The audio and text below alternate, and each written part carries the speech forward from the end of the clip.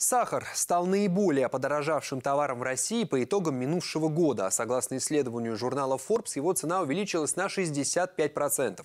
Сопоставимо подскочили в стоимости и другие жизненно важные продукты. Пытаясь сбить инфляцию, Центробанк поднял ключевую ставку до 8,5%. Роман Быков выяснял, на что остается рассчитывать простым гражданам.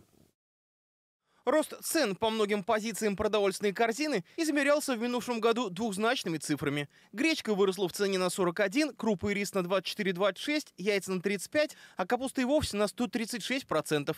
Эксперты говорят, что одномоментно этот тренд остановить не получится. Как-то неудивительно, на сей раз не стоит во всем винить только федеральное правительство. Это больше даже мировой тренд, нежели то, что характерно для нашей страны. А мы видим, что геополитическая ситуация у нас сейчас крайне нестабильна. И речь идет о том, что а, за январь месяц на а, продовольственные товары повысятся цены минимум на 1%, на услуги транспортные где-то заложено 6-7%.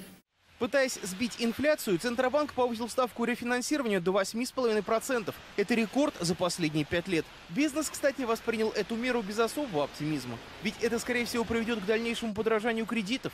Что касается простых граждан, то сейчас у них стоит лишь задача сохранить свои накопления.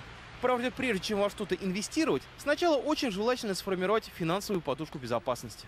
По идее, а, каждый да, человек, он должен иметь в запасе а, денежных средств, примерно исходя из шестимесячного заработка. И а, это некая такая подушка безопасности, которая в условиях неопределенности, кризисных ситуациях даст возможность человеку прожить и нормально функционировать. И только если у вас денег имеется сверх этой суммы, тогда имеет смысл во что-то инвестировать ваши средства. Можно открыть счет в банке. Но процентные ставки сегодня таковы, что в лучшем случае они равняются уровню инфляции. Хорошим вариантом традиционно является недвижимость. Еще одним способом сохранения сбережений является вложение их в драгоценные металлы. Ну или просто в ювелирные изделия. Они, к слову говоря, за последние два года подорожали аж на 40%.